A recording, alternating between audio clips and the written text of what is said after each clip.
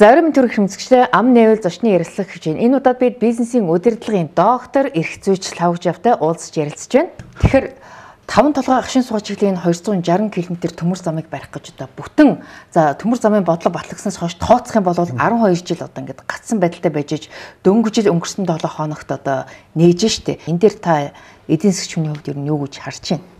Ер нь бол манайх дэд бүтцийн хувьд бол юу штэ. Яг энэ Төв Азийн одоо яг Азийн Сибирийн бүс нутгийн эдийн засгийн хөгжлийг гацаа Монгол дээр байдаг байхгүй. Хэд талаасаа ч Орос талаасаа ч төмөр зам, засмал зам, агарын зам. Тэгэл бүхэл ихийн хоолоонууд. Тэр бүх гацааг Монголын нэг нэг газар нутгийн хэмжээнд байдаг. А бусад улс бол тойроод хөгжөөд байдаг.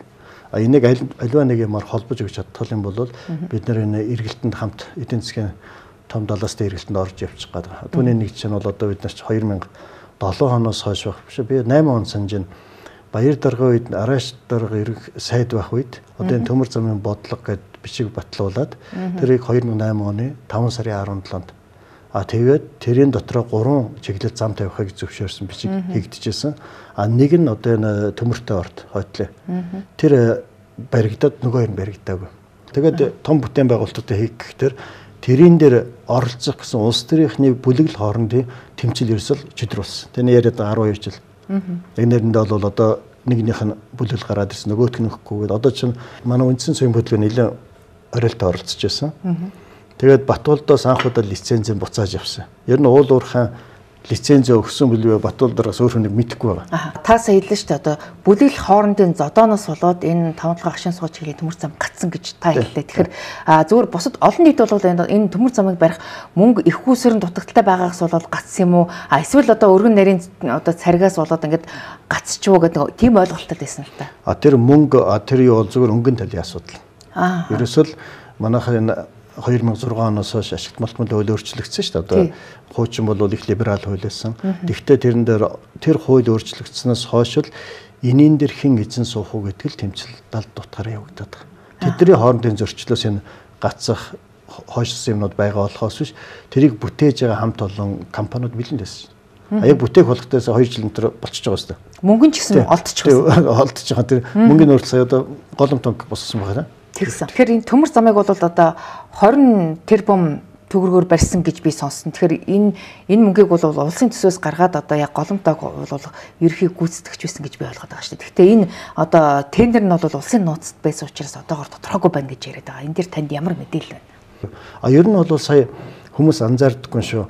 Сая ашигт үндсэн хуулийг өөрчлөгдлөө шүү дээ 19 онд. Одоо манай энэ манай нөхдөд буцаагаарч алиа юм хийгээд байгаа. Тэгэхээр дотор төрийн өмчийн нэг чухал залтыг өөрчлөгдсөн хуучин 6-гийн нөхөө хэрэг. А тэгээд ер нь бол 2009 оны 11-ийн сард батлагдаад тэгээд төр орон нутгийн өмчийн хуулийг өөрчлөөд 95 оны. Тэгээд ерөнхийдөө энэ ашиглалтын 1000 лиценз, хайгуулын 3000 лиценз байгаа. Энийн дээр яг нэг нөгөөлөхөд хөрсөх ерөнхий сайд батлага хоёр ерөнхийлөгч хоёр эзэн суух гэж яг тийм том орлого хийгдсэн. Нэгсэндээ бүх төлөв уулуурхай бизнесийг нэг гар төвлөрүүлнэ л гэсэн үг. Тэгээд Путин маягийн юм хийх гэжэтэл яг дараагийн органик хуулиа батлахын танд ковид гарцсан. Тэгэд ковидын 2 жил энэ хоёр хүн тэр юм хийж чадаагүй байхгүй. А тэгээд дараа нь бол хөрсөх ерөнхийдөө ер нь би ганцаараа хийж болох юм шүү дээ. Заавалч би нөхөртэй явах гээд нөгөөтгөө гол гаргаад тэгээд өөрөө одоо одоо бол бүх юм бол нэг нөгөөлөхөд ерөнхийлөгч л одоо мэдчихэж байгаа шүү дээ. Жижиг тендерс хулаа том тендер. Нэг уучлаа бизнес ертөнц бүгд ирж байгаа. Одоо саянд төмөр замын асуудал гэж байна. 20 тэрбум 1 км-нд одоо 1 тэрбум доллар руу 100 сая доллар руу 10 сая доллар гэдэг уг нь гарч ирэх л байх л та.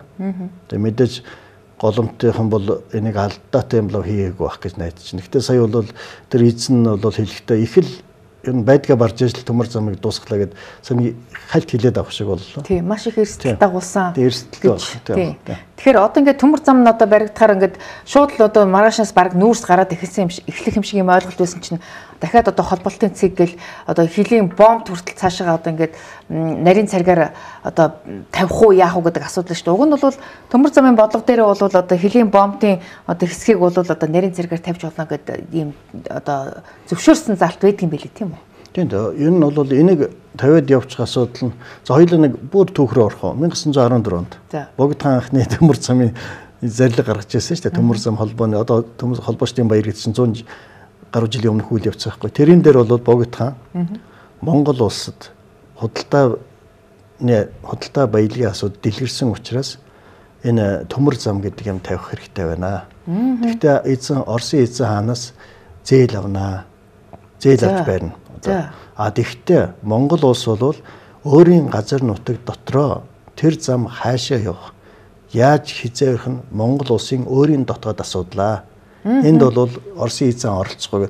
Тийм гой зэрлэг одоо их хвчээрээ байж байгаа юм шүү дээ. Оо за за бүр 110 жил юм. 1914 оны үед хийгч байгаа төмөр замынхаа санхүүжил, чиглэл, ачаалал, хараат бус байдал бүгдийн тодорхойлсон аюу сайхан баг таны зэрлэг байдаг байхгүй. Оо за за. А тэгтэл бид нар одоо 100 гаруй жилийн дараа л энэ хилийн ханаа нарийн өргөнүгэл одоо 12 жил хэрэлдээ сууж байгаа гэдэг бол өвгдөөс бас их юм суралцах хэрэгтэй байгаамаа. Тэгээ юмд бол энэ ч улс төр гэдэг бол богд хаанч байна эсвэл ер нь гол манлайлагч хүн авч явдаг шүү дээ. Гэтэ яг Батлан ерөнхийлөгч нэг санаа бол их зөв шүү Тэр зүүн хойдлын Дорнот Дорногов Сүхбаатар бол манай эрдэс баялагын гол одоо илэрцтэй маш ирээдүйтэй нөөцийн газрууд байгаа. Тэгээд одоо яг мөнгөтэй одоо инхлээр энэ 400-аа тавьчаа дараа нь 100-аа хийгээд бас тиймэрхүү тэр бол тухайн үед ирэх барьжсэн Белжаст Батлан ерөнхийлөгч хөрөлцөх дараа хоёрын шийд. Энд бол хэн ч оролцох хэрэггүй. Энэ дэр бол эдийн засгийн харин шүүмжлээд байгаа шүү дээ. Өөрөөр хэлэх юм бол энэ одоо эхлээд тэр босгосон 260 км далангаа гүйцээчгүй яагаад зүүн баян руу 400 км төрүүлж тавиад байгаа юм бэ гэж шүүмжлээд. Нэг тийм нэг бодлогууд нэг хэсэг явагдсан баг. Тэгтээ ямар ч байсан гардад хийцэн. Тий. А нөгөө тал нь бол уртлынхыг бол угийн нарийн хэрэг 10 хэдэн жилийн өмнө хийж одоо бүдүүн болж аман дээр нарийн болж байгаа. Энэ бол тэгтээ ямар ч хийж байгаа. Гэхдээ ер нь бол бид нүүрсэн дээр одоо их том бодлогоор харахгүй бид нар яг энэ нүүрсээ яг сайн зарч чадж гэнэ гэдэг асуудал. Харин тийм. Одоо ч нэг хятадын галийн мэдээ, Монголын галийн мэдээ над авсан сая нэг их сурвалж 6.7 сая тонноор зөрчсөн гэж байгаа шүү дээ. Бүрүү. Тийм бүр сая сая тонноор алдагдлууд байгаа. А оюурд нь ерөнхийдөө бүр мэдгдсэн. 20 бид 20 их найдын нүүрс зарсан боловч урд хөлийн цан 40 их найд болчиход байна. Манай танхимд ирж мэдл тэгж мэдгэжсэн шүү. 20 их найдын зөрөө. Тэгэхээр яагаад бид нар энэ төрийн буюу өвөг дээцийн өмчийг үн цэнтэй яг хүргэж зарж чадж гин үгүй юу гэдэг нь өөр их асуудал. Энд чи уурхай амн дээрээс нөгөө 60 70 доллараар аваад л тэгээд одоо хилээс хилийн цаана бол 200 300 доллараар зараад байгаа тэр зөрүүг хэлэх гээд байна уу юу? Хамгийн наад цаана угаагаад гарах. Одоо Эрдэнэс хэмжээл бол угаа гарч байгаа шүү дээ. Тэгээд үндсэн цэгт нөгөө хамгийн үнэтэй зарж байгаа тэр угаа. А гэтэл наагуур нь одоо энэ өөрсөндөө чинь 50 50 хэдэн компани л байгаа шүү дээ. Зарим нь бол бүр их бага үнээр өгч байгаа байхгүй. За 150 долларын нүүрсэг 30 доллар орчим. Одоо юу болсон гэхтэр хэдэн том уурхаагаас бусд нь бол зүгээр нэг гэр бүл амиа зогоох хэрэгсэл болсон байхгүй. Нэг айлын нэг аж аргалтай амьдруулахын төлөө тэр их баялаг зүгээр л маш хямдхан. Гэхдээ нийт ард түмний баялаг үздэг чинь. Яагаад лицензийг бид нар өгсөн мөртлөө нөгөө хүн 150 долларыг 150 доллараар зарах хэрэгтэй байхгүй. Тэр хүн 50 доллараар зарж болохгүй. Яг тэгвэл үнгөө зарж юм гэсэн. А гэтэл тэр гол 5 6 уурхаас бусдноо зүгээр л тэр тухайн гэр бүлийн л Зүгээр нэг тийм таашаал таашаал асуудал. Угийн тэгж яваа. Энэ лиценз чи яг одоо тухайн одоо хүний одоо хувийн өмч гэдэг байдлаар ингэж олоход болчмоор байгаа юу? Одоо газартай холбоотой асуудал. Гэхдээ нөө эзэмших хэрэг нь гэдгээр тэгээд ерөөсө хуж аваад тэр хүний өмч байдал тэр хүний өмч болчиход байна. Тэгэхээр ардан бол энэ өмч ер нь бол манай 92 оны өмч би нэг хэсэг байнга ярьдаг байсан шүү дээ. Төрийн нийтийн хамааралтай өмч одоо сая үндсэн хуулинд орсон. Төрийн өмч бол яг нарийн 92 онд үндсэн хуулинд байгаа боловч яг тэр төрийн өмчийг хамгаалсан хууль огт гараагүй. А дээр нь төр орон нутгийн өмчийн хууль 96 онд хийсэн. Тэрэн дотор энэ өмчөө төрийн өмчөө хоёр хувааж байгаа. Төрийн өөрийн өмч, төрийн нийтийн хамааралтай өмч. Тэгээд тэр хууль бол төрийн өөрийн өмчийг буюу татвараар бий болсон өмчийг малладаг, хариуцдаг хууль байхгүй. А тэр хуулийн 4-2 дээр маш тодорхой бичсэн байна. Төрийн нийтийн хамааралтай өмчийг эзэмших эрх улсын хурд хадгалагдана. Үүнтэй холбоотой харилцааг энэ хууль зохицуулахгүй гэдэг. Тэгээд тэр хууль цаашаа хууль нь дандаа төрийн өмч гэсэн үг ашиглаад байдаг боловч төрийн өөрийн өмчөөр яваад байдаг. Гэтэл энийг дагсан процессын бусад хууль руу задрах менежментийг манайх огт хийгээгүй. Хуулийн хийдэл цорхоноос болоод л одоо төр одоо ялангуяа энэ газрын баялагууд эзэмгүүчтэй шүү дээ. Хэн эзэн болдгойг бол тухайд ирэх барьж байгаа өндөр албан тушаалтангууд эзэн болдог. Үеийн үе тийм бас. Тэгээ сүүлдээ бол энэ ч нэг засаг төрөмч солигдсон шүү дээ. Тэгэхгүй өмнөх эзэмшигч нар дараагийн эзэмшигч нартайгаа санаа сэтгэл нийлж чадахгүй бол том том хэрүүл зодон дандаа тэндээс гардаг. Ерөөсөө тэр зодоо зодооны үр дүнд бид нар муу амьдраад яваад байгаа шүү нэг үг хэлгээд. сая бол хятадын байнгын хорон дарга ирээд одоо Монгол улсаас жилдээ нэг 40 50 сая тонн нүүрсийг бол авна гэдэг ийм одоо тохироо хийгээд явчих шиг боллоо. Яг нь Монгол улсад бол таатай мэдээлэлтэй. Гэхдээ бид нар яг тэр хэмжээний гаргаж чадах уу гэдэг асуудал байна. А 18 онд бас нэг арай гайг болоод бараг 19 онд өмнө өмнө бол нэг 26 саяг авч байгаа нэг 40 саяг нэг авна гэж нэг асуудал гарсан шүү дээ. Тий. Тэгээд тэрийг чадаагүй. Тэр жиж 23 саяг авлаа да. Одоо бол буцаага 40 сая гэдэг. Бид нар бол ийм байгаа юм. Дээр үед нэг Чоолсонго нэг мас хүргээ нэг 200 сая хүрээ ингээд Сэдэн болдор ерөнхий сайд байхдаа нэг дайны үед. Тэгээд нэг 200 сая малтай болохын тулд тэрний ноос ноолорын төлөвлөгөөгээд өвгдээсэн мөр хүнтэй өстэй дэлгэх хүртэл авч явж байлаа шүү дээ. Тэгэж нэг механик тим юмд орж нэг арт төмнөр нэг зутарсан тал байгаа. А яг түүнтэй адилхан саяын 40 50 сая биелүүлэх гэж бидний өөрийн бяд тэнхээ болвол тэр 20 хэдэн сая л байгаа хгүй. Өнөөдрийн техникийн олдс. Тэгээ хамгийн гол асуудал бид баг 10 мянган машин явлаа. 10 мянган жолооч гэсэн 10 мянган гэр бүл гэсэн үг. Одоо эдгээр чи ингээд баг багаар өөр амьдралын хөвшил рүү шилжүүлэх процесс энэ 2 жил би их ухаантай явагдаасаа гэж бодож байгаа. А мэдээж төмөр зам тавьсан нөхөл 10 мянган жолооч бүгд хэрэггүй болно шүү дээ. Одоо тэр бүх лиценз лиценз чинь дандаа л хөрөх явуулсан нэг зээлэр л авсан машинд явж байгаа л үү дээ. Нэг яг өөрөө гардаа авсан компани цөөхөн байлгүй. Гэхдээ тэрийг одоо энэ бусад салбарууд руу одоо энэ нүүрснээсээ гадна одоо энэ ашиглагдаж байгаа бусад уурхайнууд руу Монгол дотроо явах юм л бол би хийхдэх байх гэж бодож байгаа. Уулуурхан ям зохицуулт хийх шаардлага гарах юм байна. Зохицуулт хийх ёстой. Тэгэхгүй бол энэ 100000 хүн чинь Өнөөдөр уучлаарай ачааг бол тэгэл бүгд л маргааш өсгөн зарлал эхлэн шүү дээ. Тэгэхээр ерөнхийдөө бол энэ нүүрсний одоо маф буюу бүлэглэлтэй тэмцэнэ гэд бол хэлчихсэн. Тэгэхэд яг тэмцэж чадах уу? Одоо хийх ёстой. Энэ энийг энэ баялагийг яг эзэн шиг эзэн ерөөсөө ядч одоо нэг нөгөөлөлт их хурлаас А энэ хүн л хийхгүй шүү хин их. А тэр өмнө хэдэд дэлрээс энэ холд гişэн баха бол тухайд өмнө говийн гişэн бүртэл нэг анхны энэ юу гэж гаргаж тавьж ялла шүү дээ. Бас нэг хоёр компаниуд явагдсан нүүрсний асуудал. Тийм нүүрсний асуудал. Тэгээд тэр нэг явж байгаа сүлдө чимээгүй болсон тэр хүн яаж бас сүлдө гişүүн дэвшүүлээг харагдчихсан. Гэхдээ чи эн чин цаана би хэлээд байгаа шүү. Манай энэ бүх лиценз байна. Одоо би 8 оны дүн болвол тухайн үед 6.7 их 80 Америк доллар үнэлэгт илэрч байна гэжсэн Монголд. За одоо хэлбэлцлэх нэг 4 их 80 доллар. 4 их 80 доллар гэдэг бол асар манай төсөвч одоо 10 тэрбум доллар шүү дээ ийм их баялаг цаана байгаа учраас энэний төлөөх зөрчилдөө өрсөлдөө байнга явагдаж байгаа. Тэгэхээр энэний дээр л манай төр засгийн бодлого барьж байгаа усад маш зөвөр шийдэж аль болох Монгол улстай ашигтай тал руу оруулаад үйл ажиллагаа явуулаад байгаасаа гэж бодож байгаа. А бидний хамгийн том зовлон бол энэ татвар төлөгчдийн мөнгөөр амьдарч засгийн газрын 8.7 тэрбум доллар миний хувьд бол зовлон болж харагддаг. Үеийн үед ялангуяа энэ 16 оноос хойш аль засгийн газар ерөөсөө энэ төв банкнд өрөө төлөхгүй байгаа байхгүй. Одоо шинэ өнгөрсөн жил дөрөв их нэдийг хэвлээл тараасан. Хүүний зөрөөгөл 4 500 тэрбумыг төв банк л бидний мөнгөөр төлж байгаа. Тэгэхээр одоо энэ валютын ханш ингээд одоо ер нь хяналтаас гарчлаа л та. Тэгэхээр энэ бол Монгол банкны бодлогын буруу юу эсвэл засгийн газрын бодлогын буруу юу та юу гэж харж байна? Дэлхийд дээр бол энэ ковидын дараах 2 жилд сайн дайны байдлыг угийн хөдөлгөөнүүд явагдаж байгаа. А тэгэхээр тухайн улсууд нь тэр хэвлсэн мөнгөнийхөө пинг даах улсууд байхгүй. Чи Америк нэгдсэн улс 2 их 80-аас хэвлэж байсан. Европод бас 2020 онд 800 тэрбум евроч хэвлэж байсан. Гэхдээ эдгээр бол тоглолтоо хийж чадаад. Гэхдээ өнөөдөр евро бол 20% унтсан байгаа шүү дээ. Одоо ковидын өмнөх үеийг засан. Аа тэгээд Америк нэгдсэн улс бол угийн доллароо сул байлах маш сонирхолтой байдаг. Одоо ингээд доллар одоо 2850 гаруй явчлаа. Тэгэхээр ер нь энэ валютын нөөц эрс багассантай холбоотой юу Монгол банк одоо интервенц хийгээд байдаг. Тэр нь одоо үр дүнгээ өгч чадахгүй л ахшгүй тийм үү? Тий. Ер нь бол нөө нэг багцсан дотор хэд хэдэн валют уйдсан. Нэг уйсан валют нь евро их унахад тэрний зөрөөгөөр еврогийн зөрөөгөөр л өдрийн ханш өөрчлөгдөд байгаа юм шиг евро доллар одоо өнөөдөр баг 0.99 а еврогийн ханш евро долларын ханш өсөж гэсэн үг. Тийм үйл явц байгаа тэгээд сайн ажиглаараа. Дээр нь бидний яг өнөөдрийн долларын зовлон болвол гадаад хэргийн яам хариуцах хэрэгтэй. Юу вэ бол Монгол банк хоёр асуудал юу гэвэл бид нар 1.5 тэрбум долларын шатах туслах материал Оросын холбооны улсаас авдаг. Тэгжээж энэ уул уурхайн том том машинууд бүгд ядилж байгаа шүү дээ. Гэхдээ өнөөдөр боддоо одоо ингээд бид 2 9 сар болж байна. Бараг тэр бум гаруй долларыг бол төлдсөн байгаа.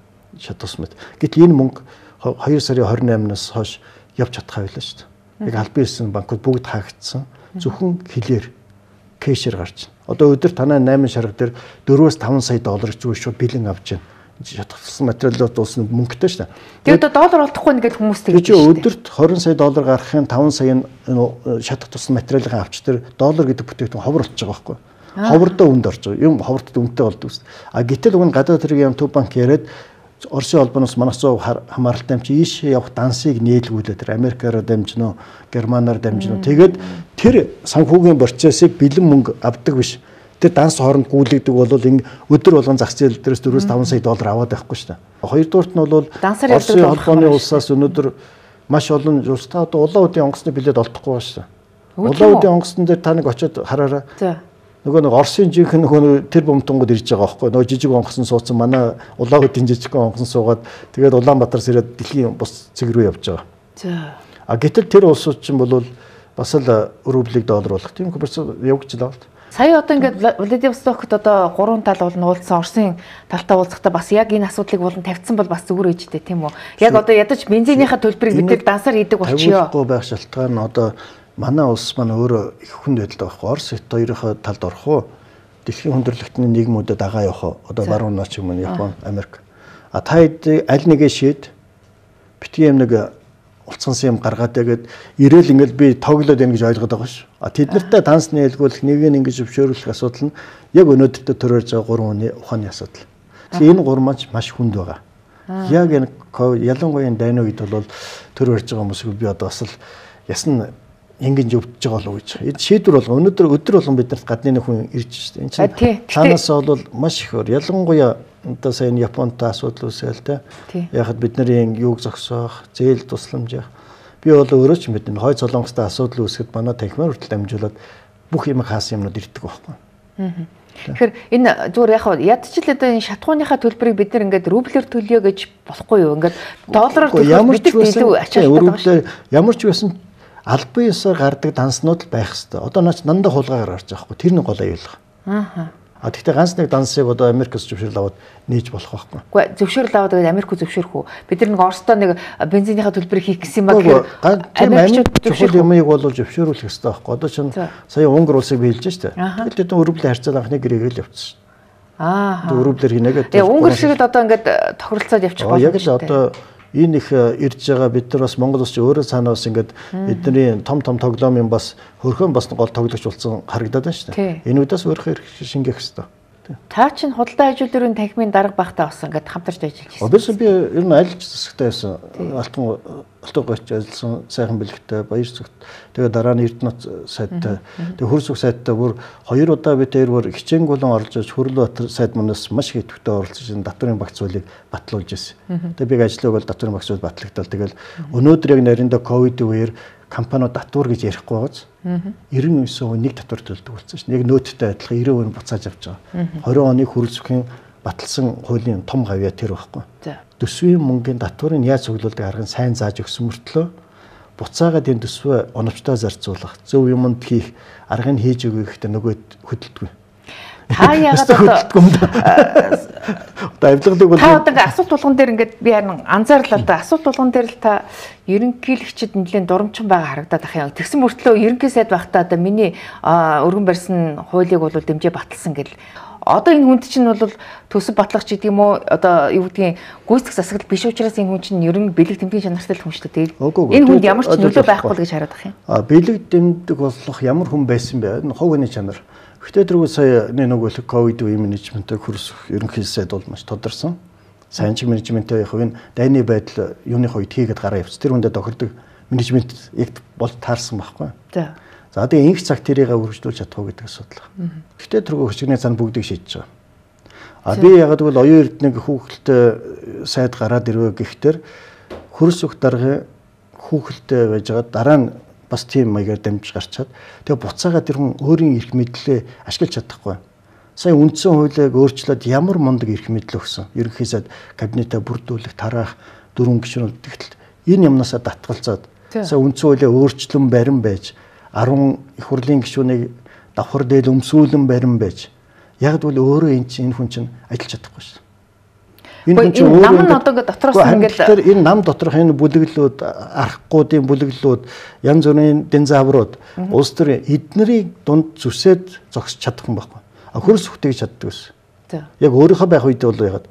Тэгээд дараа нь энэ нөхрийн яг чадхаа 2 сая 19 онд бүр одоо хамбуга, жанцнарга, гомсрөнгөө бүгдээрээ явж энэ их зөв юм шүү үндсэн хуулинд одоо энийг л өөрчлөлт хийчихвэл сайхан болно гэсэн чинь 2 жилийн дараа өөрсдөө усууд нэг өөрсдөө огтлоод тайраад буцаагаад тэвэнд нь хийчих. Гэхдээ ч одоо би л миний ихтгэл үнэмшлээ ингэ тоглож байгаа учраас Танихаар бол одоо энэ давхар дээдлийн квотыг одоо байлгах хэрэгтэй байсан гэж хэлэх гээд байна уу? Гүнчин сая бид нар яаж үр дүнгийн 4 жил харах хэрэгтэй байсан шүү дээ. Тэгтэл одоо сая буцаагаад давхар дээлтэй болгочлаа шүү дээ. Энэ юу хэлж байгааг бол ерөнхий сайд тэр бэр чадлыг ашиглаж чадахгүй байгаа байхгүй яг энэ хүн харьцангуй залуу хүн нам дотор нь бас нэлээд архаг э, хүмүүс ерөн зүгээр бас э, ерөнхий сайдыг өөрийг нь огцруулах гэж шантаажлаад байсан учраас аргагүй ирэхэд л одоо ингээд одоо юу гэдгийг намын олонхын одоо энэ хүчин давтчихуул гэж харагдаад байна. Гэхдээ тийм бол байхгүй тий. Нэг ясантаа тэгэж э, яг хав айж бэмбигнэж тэгээд тэрнийхээ төлөө үндсүүлийг өөрчлөөд нөгөө 2 жилийн өмнөх ярьсан зарчмаасаа ухарж ивэл энэ хүн дараа нь олон юмнаас ухарна. Олон юмнаас айна. Нэг айцсан бол тэгээд насаараа айна Тийм учраас эдгээр чинь ганцхан дээрээс нь барьж байгаа хөрсөх дарга байгаа шүү дээ. Гэтэ хөрсөх дарга одоо зөв хөтлөл бидний монголчууд хувьд энэ асуудал болчиход. Би бол тэгж хараад байгаа. Та өөрөө уг нь энэ намын гишүүн биш үү? Би ч гишүүн л дээ тэр. Манай намын гишүүн байлаа гэд шудраг зөв юм а яриад явна шүү дээ. Түнс намын гишүүн гээ би одоо коммунизм гоё байсан, ах өвөө юм юм хятсан гоё байсан гэд ярьж болохгүй ч дээ. Зарчмын юм бол зарчмаараа л ах хэрэгтэй. За за за. Тэгэхээр намын гишүүн мөртлөө намын даргаагаа хатуухан хилчиж байгааг бодоход намаас хөөгнө гэж яахгүй нь та? Манай намын жирийн сайхан гişүүд бол намайг хөөнгөө бол бослоо боллоо шүү дээ. А дараа нь бол үгийн хөөцсөн л доо.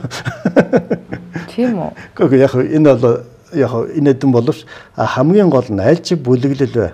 Манай нам дотор одоо нэг ийм зовлон эхэлсэн юм аа. Социал демократ үзэлтэй нам боллоо шүү. Бүх юмга социал демократ гэсэн. А социал нам гэдэг бол үзэл бодол дээр нэгдсэн бүл хүнийг нам гэж. Түнс бүлгэрээ суучаад үзэл бодлыг хайж явдаг улсуудыг нам гэдэг байхгүй. Гэхдээ манай нам маань социал демократ энэ шинэ үзэлтэй хөвшгөд дөнгөж одоо нэг жилж болоогүй хүүхдүүд байна. Яг тэгвэл бид нар маань би бол ардын нам чинь одоо инх хоёроо тухайд коммунистууд аваад гарлаа шүү дээ одоо 2010 ардын нам болоод. Би тэр үед нь одоо элсчээс одоо 11 онд энэ хөрсөх дараа ерөнхий нарийн багтнаад гаргаж орж элсүүлж ясан л. Би санаж байна. Та тухайд уул нь бол одоо амлалт нэхэх арт түмний хөдөлгөөн гэдэг одоо өсгөлэн зарлаад уул нь бол одоо иргэний хөдөлгөөний талд явж исэн хүн гинтхэн одоо эрх баригч нам руу ингээд урваад орцсон би бол гайхсан. Тэр үед ардын нам арчсан хоёр хоёулаа хамт байсан. Алтан уйгоо шадар сайд байсан. Уг та чинь намд орохгүй гэж исэн хүн дээ. Намын асуудал юм ба хамгийн гол нь татврын реформуд хийх. Одоо нэг 8 нас янз бүрийн яриад явдаг ш. Татврыг бол эрх барьж байгаа нөхдүүд хийдэг. Тэгээ Батбол дарга тэр ерөөсөө намд орсон гарсан асуудал бол татврын реформ хийя. Тэгэхгүй бол 11 оны эдийн засгийн өсөлт байлаа шүү дээ. 17 оос. Намд орохгүй та энэ реформ хийж чадахгүйсэн гэж үү? Хийдэггүйсэн. Энэ тэгээд дараа нь бол энийг яаж өрх рүү айл гэрлөө оруулахад татврын бодлого хэрэгтэй гэдэг. А бидний 8 оны татврын өөрчлөлтөнд дутуу хийцсэн байхгүй. Зөвхөн 2000 компанид маш давуу эрх өгөөд зах зээлийг үлдсэн 99 байх болгоцсон. Татвар гэдэг бол ерөөсөө улс төрийн бодлого шүү дээ. Тэрийг гаргуулахын тулд яарахгүй тэд нартэй түншилж найзалж заримтай нь бодлого ярьж хийдэг ажил юм бэл. Та уул нь бол тэмцэл хийгээл одоо гудамжин жигсэжсэн гинтхэн ингээд алтан шил авангуудаа гэж чимээгүй ингээд ирэх хэрэгчтэй гэд найслаад явчихыг би бас гайхаад байгаа шүү. Аагүй ер нь 13 4-нд 14 онд бол манай эдийн засаг бүр намс унсан шүү дээ. Одоо та хэд мань хасах нэгтэг санахгүй байж магадгүй. Би 14 оны 19 сарын 7-нд ажил авч ирсэн. Тэгээд э, ажил авсныхаа шууд тэр сарын дотор одоо баяр цогт э, хэрэглэх газрын дарга байсан баха. Тэгээ сайхан бэлэнж баяр цогтнээс. Тэгээд сангийн амсад бид нар шууд нөгөө нэг өршөөлөл оруулж ирсэн. 2015 нэг сард. Тэгээд зэн их бол дарга маань харин энэ бол хавгчвын лобби, танхимын лобби. Нэг бүлэг улсуудын лоббинд ийм хууль гаргахгүй гэж батлаагүй байхгүй. А гэхдээ 15 оны 8 сарын 17 нөгөө 7 сард нь 2 засаг бас тарлаа шүү дээ. Одоо хөрөлтөс чадар сайд тарах үед миний хууль батлаад өгсөн байхгүй. А энэс 34 их 80 буюу 17 тэрбум долларын ажил үйлчилгээ ил гараад 17 мянган компани эрхчлөө хийсэн. Тэгэхээр компаниудыг энэ эдийн засгийн эрхчлөлийг эдлүүлэхийн тулд энэ засгийн газрын толгойлогч бай, танхимын ерөнхийлөгч бай, Монгол улсын ерөнхийлөгч бай тэр хүмүүсийн төлөө тийм ирээстэй алхмууд хийх ёстой. Одоо та албан тушаал биш учраас ер нь намын даргаагаа хатуухан шүүмжлээд байгааг одоо нөгөө нэг хуваарлтын гадна үлдсэн учраас жоохон гомдолтой байна уу гэж харлаа. Надад бол огц нь биш. Би өөрөө ч Өмнө ч надад санал тавьж байсан би. Танд ямар нэгэн одоо албан тушаал одоо амлаагүй. Танхимын үед бол би уучлаарай би бол намын ажилд орж болохгүй. Нэр дэвшгээ хүртэл татгалж байсан. Яг тэгвэл энэ нэг өөр би бүхэл бүтэн бизнесийн ертөнцийг төлөөлж байгаа. Аливаа нэг нам дотор одоо өмнөөс нь явах одоо янз бүрийн албан тушаал болохгүй байх. Би тэгээд энэ энэс хойш би ер нь альчиг засгийн газрыг яг тухайн үед нь байгаа бодит юм л хэлж байгаа. Миний хэлж байгаа зүгээр бодит үнэн. Магадгүй оюурд нь танд ямар нэгэн айтайхан одоо агентлагч юм төрийн өмчийн компани захирлын албан тушаал амлсан бол та энэ хүнийг арай өөрөөр харах байсан. Үгүй тэр уучлаарай. Өнөөдөр би оюурднаас бас ингээд дараагийн аюул том хүлээлт өсгөө. Ялангуяа сая үндсүүлийн өөрчлөлтийн дараах тэр том реформ хийх бололцоо байсан. Тэгтэл сая ингээд бүлэг дотроо нам доторх энэ хэдэн арахгүйдаа юм уу баригдаад өөрөө буцаад ийм эрчимтэй дайчин байдлаа алдахгүй эн чинь бас маш олон хүмүүсийн итгэл бас хэцүү байхгүй уучлаар энэ хүүхдийг цааш яагаад юм хэлэхгүй. А гэтэл цааш нь ингээд мэдээ судлаад үзэхдээ цаана өөр эзэн байгаа учраас. Тэгээ тэр эзнийхээ хэрэгчлээс гарч чадахгүй бол бас хичнээн ерөнхий сайд байгаад асуудал үүсэж байгаа байхгүй. Дандаа би тухайн засгийн газар их хурлуудтай ажиллаж тэр хуулиудыг гаргуулж ирсэн байхгүй. Тэс намтай ажиллаагүй. А гэтэл одоо ингээд нам дагаж явсан бүхэл бүтэн ийм сүрхтэй болсон. Тэгээд тэдний нэг нь биш юм уу? Би уучлаар намын гишүүн болооч намын амьдрдаг сүргийн гишүүн биш байхгүй. А бүлэглэл дагаж яваад амьдрдаг. Тэр бүл надад өгсөн юм ш. Хамгийн гол нөгөө нэг намаар амьдралаа хоол ундаа болгоцсон бүхэл бүтэн тийм залуу үед гараад энэ их аимшигт юм байхгүй. Одоо 37 оны хоёул ярилцсан хэлмэгцийн баяр бас яг нарийнда 1927 онд бол манад том том реформууд хийгдсэн шинэ хэрэглтийн бодлого гэдэг ингээд тийгээд 28-аас 31 онд тухайн эдийн засгтай холбоотой санхүүгийн маш олон хуулиуд баталсан байгаа шүү. Тэгээд яг сайхан сэргээд ихтэл 32 оны хэлмэгд бол одоо 37 он болсон. Гэтэл 28 онд чинь одоо хүн буудах залуу байхгүйсэн. Тэр чи өөрсдийн өмнөх үжил суртлынхаа шашин байла, итгэл үнэмш хүмүүжил нь байла. А тэгэхэд 37 он гэхэд хүн буудах 10 мянган хүнтэй болцсон байсан байхгүй. Хамгийн зөвүүн нь эцэг ихээ хүртэл буудаж чадах тийм юмыг хөвшүүлсэн байсан. Тэгээ 37 онд бол хядлаа шүү дээ. Одоо 100 мянган хятад чинь монголчууд өөр өөртөө орсуудын заврал хятсан байсан. Ер нь комментарнэл шууд бодлого Одоо тэгээд яг тэрийнтэй адилхан намл гэвэл юугаач хамаагүй тавьж өгөх хүн алхаас ийхгүй тийм сүрэгтэй болж эхэлж байгаа нь аюултай байгаа байхгүй. Та тэгэхээр намынхан залуучуудыг одоо ер нь бас хүн буутахаас ийхгүй иймэрхүү улсууд болж гин гэж хэлэх гээд шууд хэлээд хэлж байна. Ер нь бол тиймэрхүү юм өсч хүмүүжил нь бол харагдаад байгаа. Ер нь бол харагдаж байгаа. Ер нь би бас энэ чинь бас дотор нь ажиллаж байгаа шүү дээ. А тэгэхээр бол албан тушаалын төлөө энэ авилгалын төлөө янз бүрийн юмны төлөө юу ч хийхээс хийхгүй тийм үе гарч ирж байгаа. Бид нар бас залуу үегээд залуу үеийг дандаа ийгээлж найдаж болохгүй. Өнөөдөр бол Чин би бол энэ нам дагсан залуучуудаас илүү одоо GSA байгуулагч юм уу клубуд дагсан сайхан сайхан залуучууд байна шүү дээ. Мэдлэг чадвартай тухайн зах зээл дээр өөрсдөө ажиллаа хийгээ явцсан.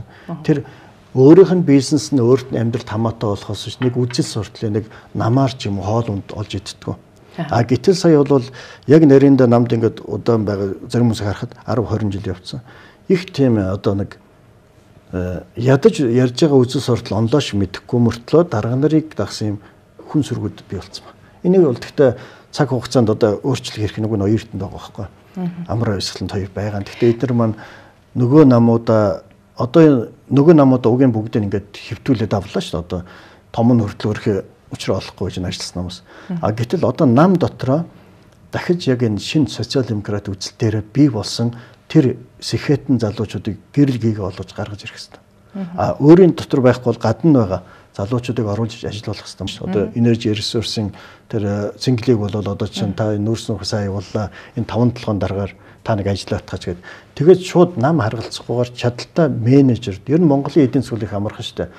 Сайн менежерийн үйл ажиллагааны үр дүн Монголын эдийн засаг болчихно. Яг бид нар яг дэлхийн эдийн засгийн онол яг үйлчилдэг тийм том эдийн засаг биш байхгүй. Сайн менежерд, сайн инженерд а тэрийн тавь. Тэгээ сая нэг оролдоо уг нь оюурд нь хийсэн шүү дээ гадна тал сайдуудыг тавилаа гэх. Тэгээ сайд нараа улс төрийн чадамжгүй юм байна. Энэ улс төр нь их бага юм байна. Ингээд эднэртээ ороод гişүүдэд загнуулаад байх ингээд дахиад дараагийн зөндөл хүмүүс байсан шүү дээ. Одоо тэр сайд болохгүй. Гэтэл одоо нөгөө хэд буцаа бүгдийн дэд сайд болсон харагдаад. Яг л ажилласаа хийжээс улс төрийн шалтгаанаа хасагдсан учраас. Муу хийсэн халах лээсэн баг. Тий. А гэхдээ тэр хүмүүсийг яг тухайн салбартаа баавартай чадaltaй байх юм нь бол ерөөсөө ажиллах. Тэг чадаагүй. Сая тэгээд нэг хэдэн архаг гişүүд авчиад сайд гэд нэртэй тавьчихсан. Тэд нар яамд оч яг сайд хийж харагдаач. Тэгэл нэг бахан концесс хөрөнгө оруулалтын мөнгө, хөгжлийн банкны жоох үлдэгдэл мөнгийг хулгайлах гэж сууж. Би бол тийм. Арай улс төрийн зангарахтай усууд тавьдлаа л гэж бодоод байгаа шүү дээ. Би ер нь нийтийн мөнгнөөс хулгайлсан нэг бол би хулгайчлаа.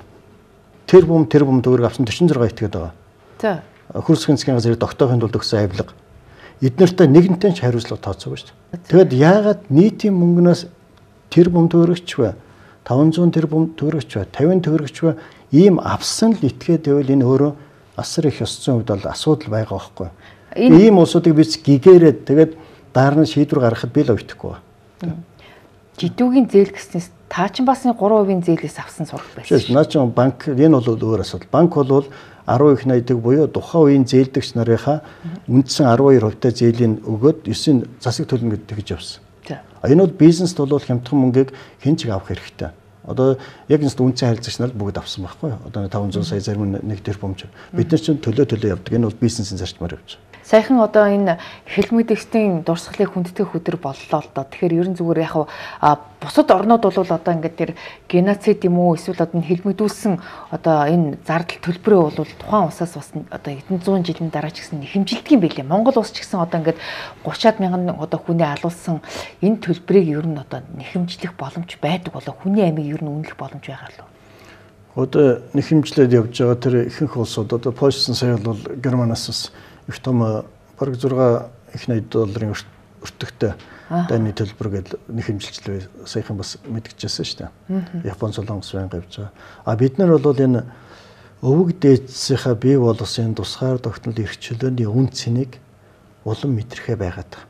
Ялангуяа түнд үед хядуулсан одоо мэдээж Монгол Монголоо Оросуудын заавар хядсан байгаа шүү дээ. А ер нь тэрийг ярихасаас цэрвээд за нэг явж байгаа нэг хэдэн өнгөрчүүл 9 сарын 11-нд байж байдгийн Тэгээ урд талд нэг модон байшнаа бих хотын нэг байшинг очиж үздгийн тэгсгээд нэг аргалдаг гэд. Ер нь баг тэр хядлах хийсэн улсуудын хядчихсэн хүмүүсийн үр сад нь өнөөдөр сайн яваад байгаа ер нь магадл байж магадгүй дээ. Тэгээ судлах хэрэгтэй. Үгүй юу гэсэгүй. Үгүй тэр чинь 10 мянган хүнийг буутахад 10 мянган би яриад байгаа шүү дээ. Тэр хүнлөө хүн алж ясан шараатанд улаастад тэгээ тэдний үр мод гэд дамжаад өнөөдөр бидний толгой дээр дахиад бүүлж сууж ч магадгүй. Ер нь бол бид нар тэгээд их нөө цайлган арт өмнө л да. Их том тийм хядлагыг За яг хэвдээ ингээд 90 он тэг үедээ ингээд цайруулал өнгөрөөгээд бүгдээр л энэ том нүгэлд оролцлоо. Тэ энийг гимшээгээл тэгэл орхисон юм байна. А нөгөө ард түмнүүд бол ер нь зарахыг л яваад байгаа шүү дээ. Өвөг дээдсийнх айл одоо Японууд хүртэл энд байсан өвөг мигийнхаа шаардлыг хүртэл энд уулнаас аваал тэ. Тэгч айл 60 70 жилийн дараа. Та түр хэллээ шүү дээ. Польшийн талд Германаас дайны төлбөргээд 6 их 80 доллар нэгсэн байт юм уу. Тэгэхээр Монгол улс ерөн зүгээр хэр хэмжээний одоо төлбөр нэхэх боломж байна таны тооцоогоор. Ер нь одоо ингээд 30 мянган хүний амийг ингээд тооцоход.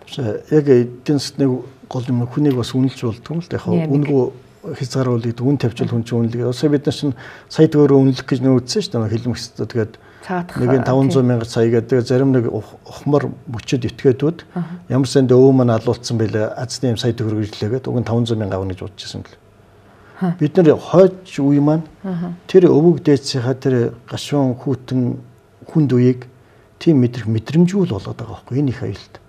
Одоо таны бизнес ер нь ямар шухан байна вэ? Ковидын дараа бас арай сэргэлтийн байдал руу орсон байх тийм үү? Гэхдээ бас ингээд нөө экспорт импорт одоо түүхийн эдийн нийлүүлэлтэн дээр бас асуудал үүсч байна? Ер нь бол э, хоёр систем солигдсон 90 онд бол бид нар давстай үлдсэн шүү дээ. Давс гомтой та санджиж магадгүй хүүхдүүд. Тэгэл байх уу? А чөлөө зах зээлийн ач гавь асар ихэн сайн мэдгэж байгаа шүү. Сая ковидын 2 жил дайны үегээд яхад 10 мянган бараг нэг дэлгүүр тавьж супермаркет ажилтдаг. Нэг 500 ширхгэл багассан 10 мянгаас. Өнөөдөр би ярьж байна нэг 25% хар зах зээл хаагдсан. Өнөөдөр татвараа төлж исэн бүх компаниудын орлого 20-с 30 өссөн. Энэ саяын ковидын 2 жил. Энийн дээр бол бас ягдггүй бид нар наан нь манай улсын татварын орлого хүртэл 20-с 30 өслөө шүү дээ. Ковидын жил дайны үед одоо сая 107 өсөлттэй байгаа. Нөөт бол 30% илүү байна. Энэ юу гэвэл сайхан бэлгийн үед хийсэн нөөтийн систем ажиллаад татвараа бүгдийг хурааж авдаг болсон. Хүмүүс одоо энэ татвар авахын тулд бүх орлогоо мэдүүлдэг болсон. Тэгээд дээр нь хөрс бүхний засгийн газрын нэг батлсан татварын хуулиуд аягүй сайн нөлөө үзүүлээд бизнесүүд бол ерөнхийдөө яг зах зээлээр явж байгаа бол ямар ч гэсэн бид нар торгоогоод явсан. Тэгэхээр өнөөдөр 30 жилийн дараа харахад бид нар бас зөв зам дээр байгаа юм байна шүү. Яг эдийн засгийн. Өнөөдөр бол уучлаарай ковид жил сүү махад таслаагүй ч дээ. За ямар ч таны бизнес бол гайгүй дайггүй амжилттай явж байна. Ер нь бол хүнснийхэн, эмээхэн, мал аж ахуй бүгд л тийм аялжуулсан дотоод их сайн явсан шүү дээ. Данш дарга нар маань ингэж энэ дотор ажилласан юм цагдаа нар бол үндсэн төрийн албагт ажилласан боловч цаана энэ ажил үйлчлэгээгүй дасаж чадахгүй нөлөө ажилласан малчин трал бизнес эрхлэгч нар үйлчлэгээний ажилчид бүгдэнд нэг баярлаа гэдээ нэг хэлэх хэрэгтэй байна. Би бол одоо тэдний өмнөөс бас баярлаа гэж хэлж байгаа шүү. Энэ бол асар их эрсдэлтэй ажил. А хамгийн гол нь энэ хүнд үед төр засагт ямар дараа олох аваад гарсан. Тийм учраас би хөрсөх даргаыг одоо ерөнхийлөгчийн хувьд таныг ажил хэрэг байгаа. 2020 оны 4 сард дараа нь 11 сард 2 удаа мэдгдсэн. Энэ ковид үетэй холбоотой хяналт шалгалт тавиг цаагт бүгдийг хүчинг болгоно. Энэ хүнд үед эдгээр маань энэ ажил үйлс авч яваа учраас эдгээр татврын ямарваа нэгэн дарамт байж болохгүй гэж мэдгдсэн мөртлөө хуулиндаа өөрчлөлт хийх байхгүй. Одоо тэгэхээр танд татврын дарамт их байна гэсэн үг. Татврын байж л одоо намайг шалгав би шүүхтэр заргадал явж. Тэгтэл эдгээр маань ковидыг март. Одоо уучлаарай татврын газар ковидыг мартсан маш 2 жилд. Тэр үчи хил хаацсан 7 удаа хаагдсан биз захиа занаагч авч чадахгүйсэн. Тэгэхээр одоо тийм байхгүй юм шиг л хөөрхөн компаниуд чинь ингээл шалгаад одоо бахан ах тавил. Уучлаарай. Өнгөрсөн 2 жилийн татврыг өгч авах гэдэг нь. Тэр чинь алдаа янз бүрийн татврын чинь мэдээ шалгалтаа оруулаад явж байгаа. Уг нь хөрөлцөх дараа тэр бүх шалгалтыг зогсоогоод аах бүгд байхгүй болно гэж амлсан байхгүй. Уг нь тэгш шүү. Ерөнхийдөө амлалтаа хийгээгүй. Зэрэг зөв. Тэгээ өнөөдөр нөгөө хүндээд авсан улсууд өнөөдөр татврын байсаж ороод ирсэн. За та 2021 онд ингээд янз бүрийн яриад сууж байгаа шүү дээ. Энд чинь уучлаарай цар дахлын үеийн Тэгэхээр одоо хуулиар гаргаж одоо энэ тодорхой болох хэрэгтэй байна. Энийг бол өршөөж хэвээр байхгүй. Нэгсэндээ бол ковидын хожийн 3 жилиг өршөөгөөд татварыг бол энэ 20 оны 1 сарын 1-ээс эхэлснээр бол нэг 5 жил нөхдөг тийм шинэ хуулийн дотор сайн менежмент байгаа. Тэр 2005 оноос шалгаачтай. Ер нь өршөөснөр муу юм болов. 8 онд өршөөс 15 онд өршөөс.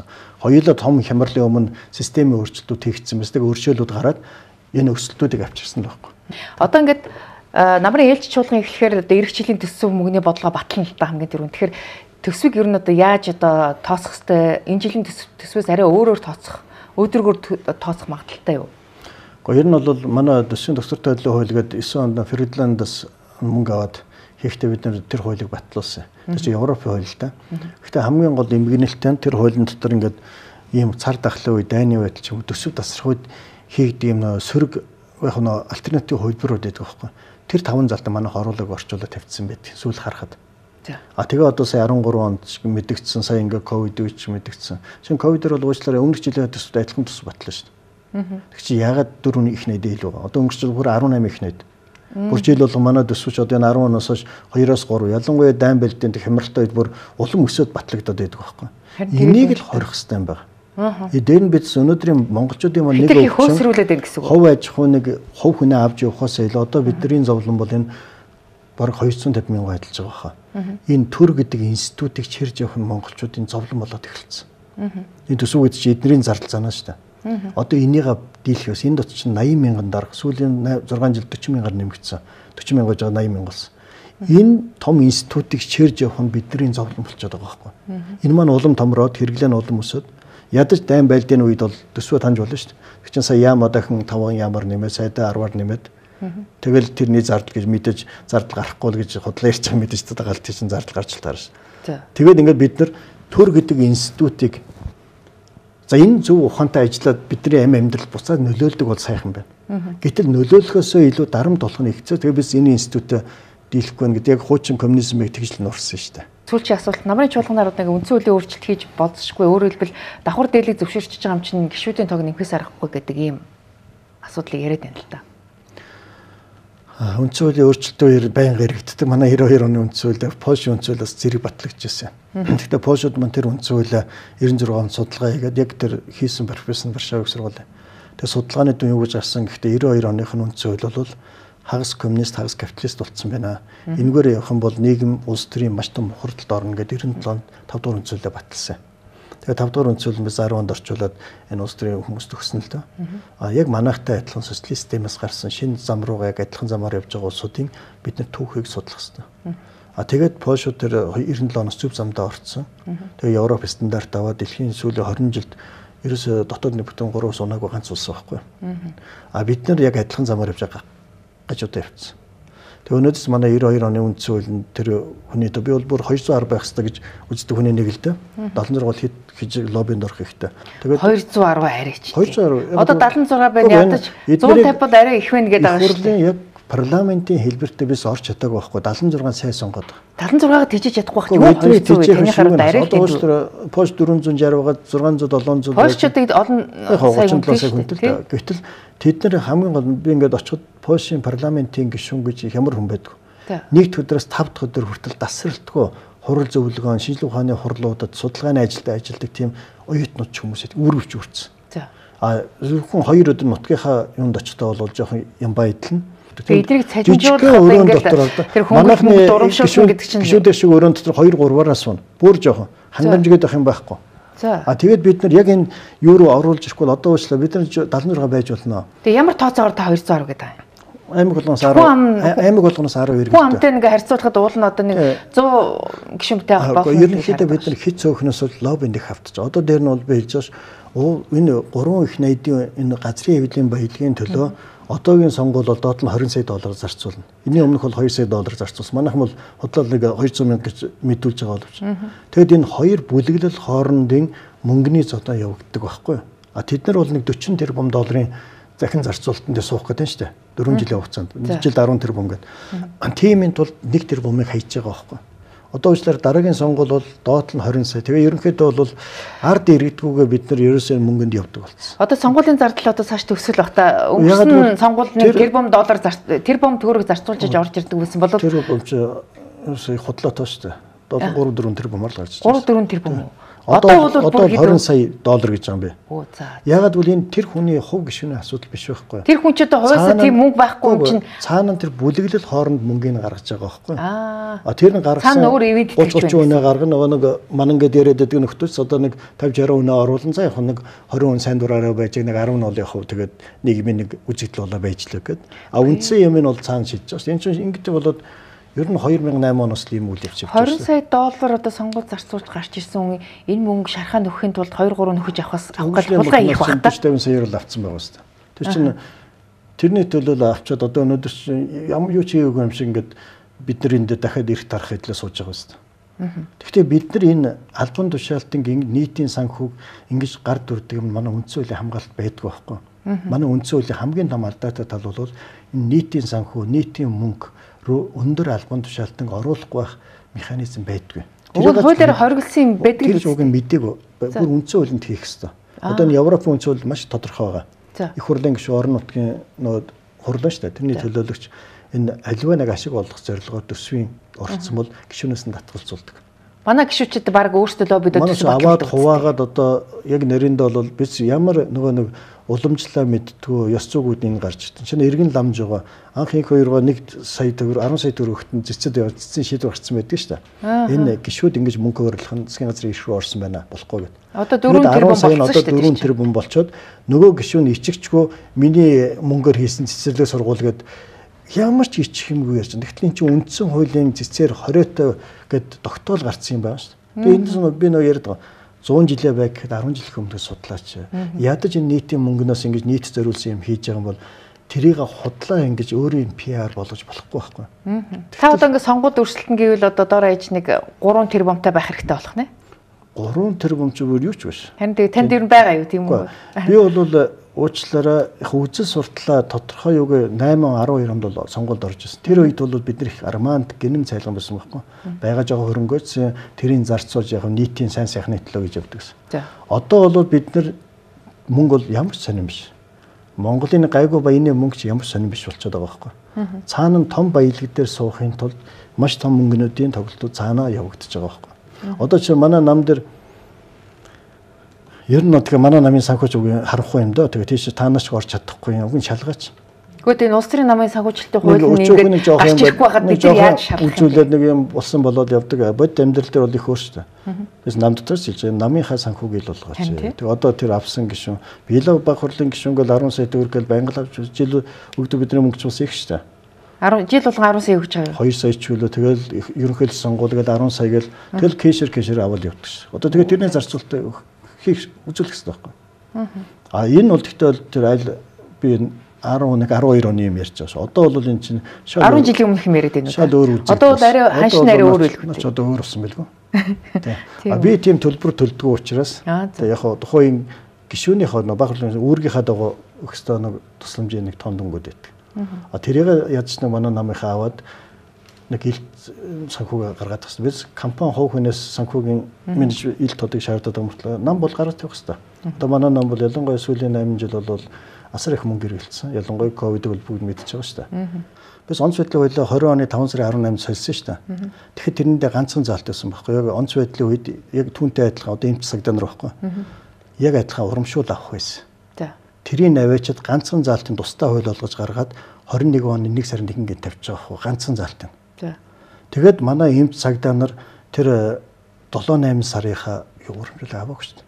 Гэтэл яг энэ улаан гараараа ажиллаж байгаа тэр хүмүүс тэгээд нөхөж өгөөгүй юм 21 өгөөгүй өгөөгүй тэр чинь хуулийн бүр баталсан 5 сарын 18-нд баталсан мөртлөө яг тэр заалт нь 20 оны 1 сарын 1-ээс хэрэгжиж гин гэж байгаа. Тэгээд 7-оос 8 сар хожиж байгаа байхгүй яг төсөв суугаагүй гэдэг худлаа шалтгаан дээр.